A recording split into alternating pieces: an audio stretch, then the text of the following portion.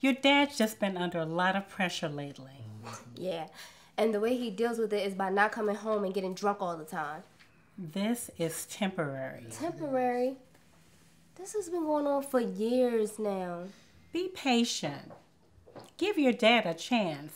And as far as how people look at you, if it's in your heart and you're passionate about it, it doesn't matter what people say or how they look at you, right? I guess. Mm-hmm. But I haven't performed in so long. Like, what if I mess up their routine? And what if I get out of breath? You know, I'm actually really out of shape now. You're making excuses. Don't ever doubt yourself. You'll make some mistakes, but you'll learn from them and you'll become a better person.